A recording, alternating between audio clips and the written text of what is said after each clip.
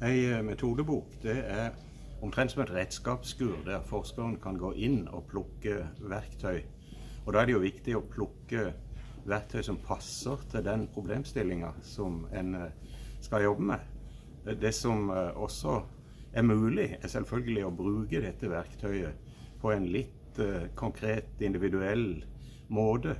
Men for at det skal kunne være kalt forskning, og ikke bare noe som på en måte forskeren føler er riktig, så er det veldig nødvendig å kunne vise til, til velprøvde metoder som en kan hente ut fra dette redskapsskuret.